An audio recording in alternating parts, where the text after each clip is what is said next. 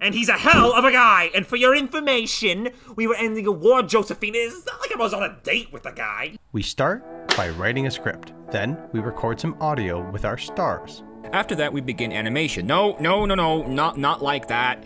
We were inspired to make our cartoon entirely within Blender because that's how the cool kids do it. And it's made just for one guy. What came after is months of experimenting, learning, and development until finally it looked like something.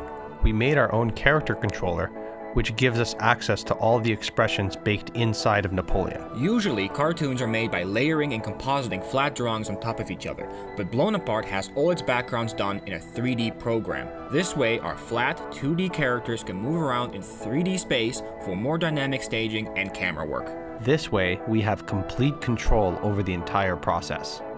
So the cartoon comes right out of Blender.